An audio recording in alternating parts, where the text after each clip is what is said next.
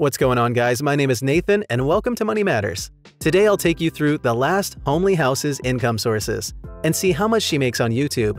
Make sure to stick around to the end because I'll tell you how much she makes per hour. If you love watching simple farm living, then chances are you'll love the content from the last homely house. Her videos show her farm home in northern England, as well as all the activities she does, ranging from gardening to poultry farming. Now let's take a look at her income sources. AdSense.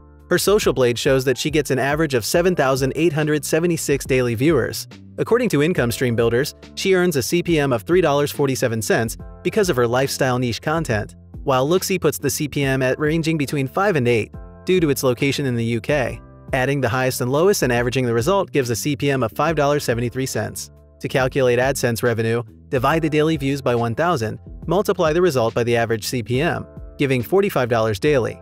After YouTube takes 45% of this amount, she earns $25 daily, $745 monthly, and $8,943 annually. She sells a variety of handcraft items on her store at an average price of $20.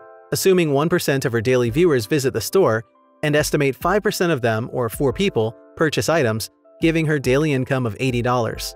20% of this amount is her profit, she'll earn $16 daily, $480 monthly, and $5,760 annually. Patreon.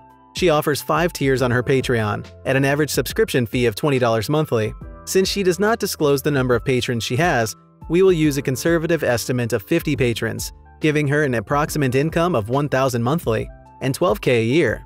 Adding her annual income gives a total of 26,703 without expenses. Expenses. If her self-employment expenses relating to her handcraft business and farm accounts for 20% of her annual income, or 5,341, this leaves a taxable income of 21,362. Taxes. She lives in the UK, so she'll pay 1,799 in total tax, about 8.42%.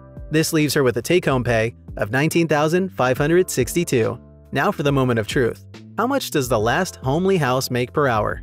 She makes 1,630 monthly, $75 daily, and $9 an hour. Thanks for watching.